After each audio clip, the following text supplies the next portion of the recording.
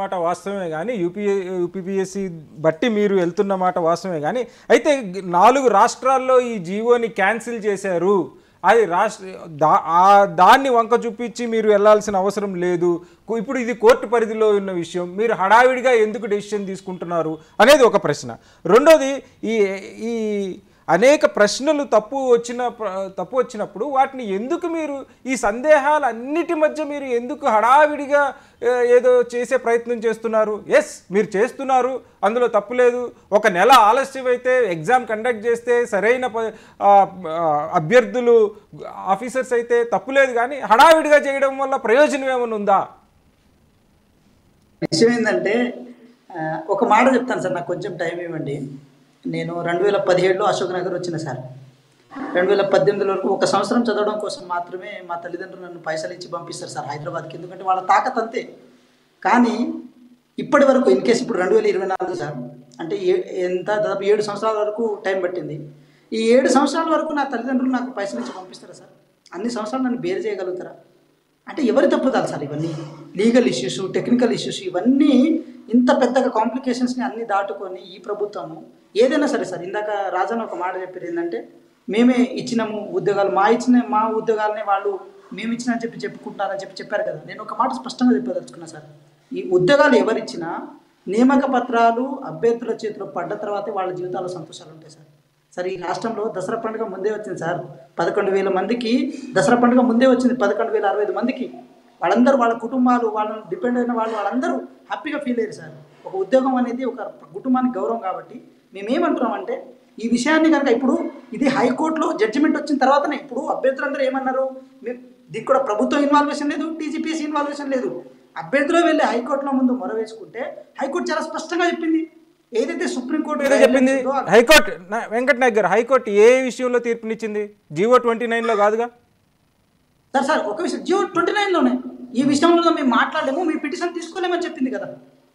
తీసుకోలేమని చెప్పింది కాబట్టి దాని మీద విద్యార్థులందరూ ఈరోజు బయటకు వస్తున్నారు. సో విషయం ఏంటంటే సార్ ఇది ఆల్రెడీ సుప్రీంకోర్టు గైడ్లైన్స్ ప్రకారం మిగతా రాష్ట్రంలో అమలు చేస్తున్న ప్రక్రియ కాబట్టి దీని మీద కొత్తగా మేమేం మాట్లాడడానికి లేదని చెప్పింది. ఇన్ కేసు మీరు నివృత్తి చేసిన ఇరవై రెండు అంశాలు ఏదైతే ఉందో దాని మీద ఏది నవంబర్ ఒకటో తారీఖు మాట్లాడదాం ఈ ఎగ్జామ్ అయిపోయిన తర్వాత అని చెప్పిన తర్వాత ఆ నిర్ణయం కోసం ఆ తీర్పు కోసం ఈ ఎగ్జామ్స్ని ఆపాల్సిన అవసరం లేదని చెప్పి ఏది హైకోర్టు చాలా స్పష్టంగా చెప్పింది సార్. వీలైతే నేను ఆ జడ్జిమెంట్ కాపీ కూడా నేను మీకు పంపిస్తాను. సో విషయం ఏంటంటే సార్ ఇక్కడ మేము ఒకటే అంటున్నాము. పది సంవత్సరాల పాటు వెయిట్ చేసిన అభ్యర్థులని వాళ్ళ జీవితకాలం మొత్తం అయిపోయిన తర్వాత మళ్ళీ కూడా వెయిట్ చేసుకుంటూ పోదామని అనుకుంటే మాత్రం వాళ్ళ జీవితాలకి ఇక అర్థం పడతాం లేకుండా పోతుంది సార్. మేము డిఎస్సి ఎగ్జామ్లో మళ్ళీ ఎవరు క్యాన్సిల్ చేయమని అడగట్లేదు కదా?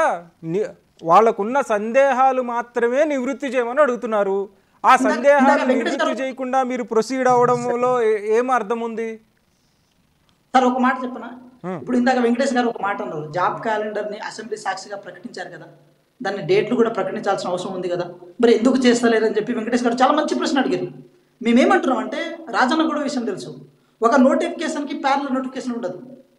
మొత్తం ఈ దేశ చరిత్రలో ఉన్న ఏ టీజీపీఎస్సీ తీసుకోండి ఏ పిఎస్సీ తీసుకోండి యూపీఎస్సీ తీసుకోండి. ఒక నోటిఫికేషన్కి ప్యారల నోటిఫికేషన్ ఉండదు. ఇప్పుడు ఇన్ కేసు ఈ నోటిఫికేషన్లో కనుక సరే బీఆర్ఎస్ పార్టీ ఇచ్చింది నోటిఫికేషన్ మేము కాదని అంటలేము. బీఆర్ఎస్ పార్టీ ఇచ్చిన నోటిఫికేషన్ కూడా ఈ ప్రభుత్వం కంప్లీట్ చేయకపోతే దీనికి ప్యారల నోటిఫికేషన్ ఇవ్వడానికి లేదు రూల్స్లా. కాబట్టి ఇది త్వరితగతిన కంప్లీట్ చేయాల్సి ఉంది సార్. ఇప్పటికే group two group two second notification వచ్చింది తెలంగాణ రాష్ట్రంలో. ఆ నోటిఫికేషన్ వచ్చినప్పటి నుంచి ఇప్పటి వరకు అది ఎగ్జామ్ కండక్ట్ చేయడానికి మూడు సంవత్సరాల టైం పట్టింది సార్. అంటే రెండు వేల పంతొమ్మిది పదహారులో ఒకసారి వాళ్ళు గ్రూప్ టూ నోటిఫికేషన్ ఇస్తే వెయ్యి వెయ్యి ముప్పై రెండు పోస్టులకి అది రిక్రూట్ చేయడానికి రెండు వేల పంతొమ్మిది పట్టింది. అంటే ఎగ్జామ్ కండక్ట్ చేయడానికి మూడు సంవత్సరాలు పడితే ఇంకా రిక్రూట్ చేయడానికి టైం ఎప్పుడు పడుతుంది సార్? అంటే ఒక అభ్యర్థి తన జీవితాన్ని ప్రిపరేషన్కే పది సంవత్సరాలు కేటాయిస్తే ఇంకా జాబ్ ఎప్పుడు చేసుకుంటాడు పిల్లలు ఎప్పుడు చేసుకుంటాడు కుటుంబాన్ని ఎప్పుడు పోషిస్తాడు ఈ అడ్మినిస్ట్రేషన్ వ్యవస్థను ఎప్పుడు చూస్తారు సార్? సార్ ఎవరో ఒకళ్ళు ఎక్కడో ఒక చోట ముండితనం ఉండకపోతే విద్యార్థుల జీవితాలు ఆగమైపోతాయి సార్. రాజన్నకి తెలుసు రాజన్న క్యాంపస్ విద్యార్థి. క్యాంపస్లో చాలా పెద్ద ఉద్యమకారులు. దాంతోపాటు వెంకటేష్ అన్నకి తెలుసు ఎందుకంటే వాళ్ళు లైబ్రరీ పక్కన ఉంటారు. నేను యూనివర్సిటీ విద్యార్థిని. చెట్ల కింద కుర్చీలు అతుక్కొని ఉన్న ఉన్నప్పుడు మేము ఏదైతే కుర్చీలు చూస్తామో సంవత్సరాల తరబడి అదే కుర్చీలు చూస్తున్నాము ఆ కుర్చీలు మారుతాయా? వీళ్ళ జీవితాలు మారుతాయని చెప్పి వెయిట్ చేస్తున్నాం సార్. అదే డీల్ ఇప్పుడు ఇప్పుడు మీరు ఇందాక మీరు స్టార్టింగ్లో ఒక వ్యక్తిని తీసుకున్నారు. ఒక మహేంద్ర అనే ఒక అన్నని తీసుకున్నారు. మేము ఒకటే చెప్తున్నాం. ఆ పెద్దన్న ప్రతి చోట కనపడతారు కేటీఆర్ ఉన్న చోట. నేను ఇప్పటికే చెప్తున్నా పదిహేను సంవత్సరాలు వచ్చినట్టుంది అన్న పెద్దన్న వచ్చి. ఏది? అశోక్ నగర్కి. అన్న జాబ్ కొట్టుకొని పోవాలని మేము కోరుకుంటున్నాం.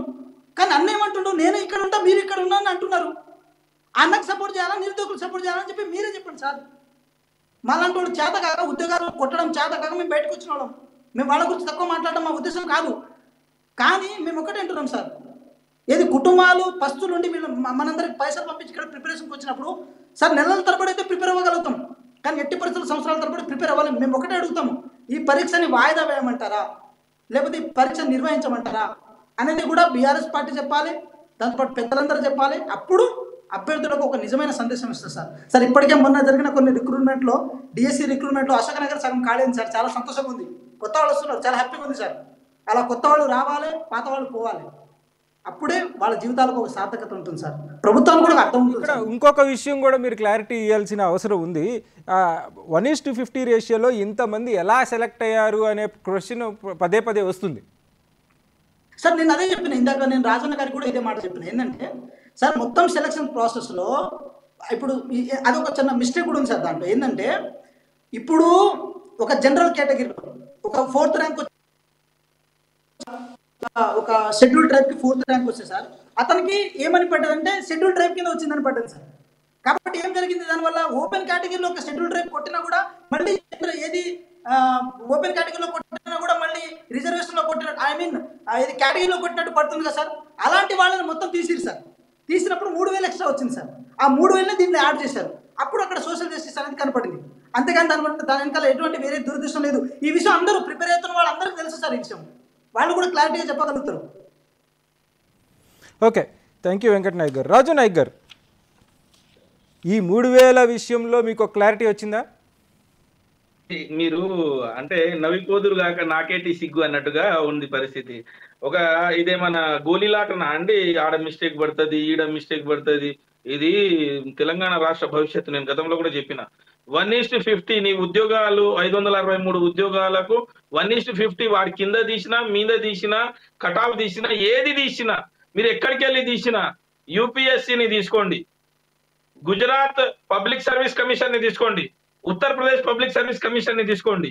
నేను ఎందుకంటే నేను అంతా రీడ్ చేస్తా ఉన్నా నిన్నటి నుంచి కూడా నాకు నిజంగా ఎక్కడ నేను తప్పుగా మాట్లాడుతున్నామో అన్ని న్యూస్ ఛానల్లో మమ్మల్ని మాట్లాడేటప్పుడు కానీ మా గౌరవ కేటీఆర్కి నేను ఫీడ్ ఇచ్చేటప్పుడు కానీ మా హరీష్ రావు గారికి ఫీడ్ ఇచ్చేటప్పుడు కానీ నేను చదువుకున్న వ్యక్తిగా నేను కూడా తప్పు చెప్తే బాగుండదు అని నేను అక్కడ ఉన్నటువంటి మా వాళ్ళకు నిరుద్యోగులకు కూడా ఫోన్లు చేసి అక్కడ ఉన్న టిఎస్పిఎస్ అక్కడ ఉన్న పబ్లిక్ సర్వీస్ కమిషన్లకు కూడా ఫోన్లు చేసి కనుక్కుంటున్నా. ఎట్టి పరిస్థితిలో ఒక అభ్యర్థి కూడా అటు ఇటు కావడానికి ఛాన్స్ లేదు. ఇది క్లియర్ కట్. మీరు నేను ఎవరు చెప్పినా ఇది రాష్ట్ర ముఖ్యమంత్రి గారు టీజీపీఎస్సీ చైర్మన్ గారు మెంబర్లు కూర్చొని చెప్పాల్సినటువంటి విషయం. ఎవరు చెప్పినా ఎందుకంటే సంఖ్య పెరగడం వల్ల దీని వెనకాల అదృశ్య శక్తి ఉందని గ్రూప్ వన్ విద్యార్థులు నమ్ముతున్నారు. వీళ్ళు ఎవరు? ఎందుకు వచ్చిర్రు? ఇరవై ఒక్క వెయ్యి ఒక్క వంద ఇరవై ఎనిమిది వేల ఒక్క వంద యాభై నుంచి సరాసరి ముప్పై ఒక్క వేలకు ఎట్లా పెరిగింది? ముప్పై ఒక్క వేల మూడు వందల ఎనభై రెండు మందికి అనేది ఒకటి. ఈ గందరగోళానికి కారణం ఇంకొకటి కూడా చెప్తానండి నేను. ఇదే పదిహేను రోజుల కిందట దసరా పండుగ కంటే ముందు మా తమ్ముడు మా మా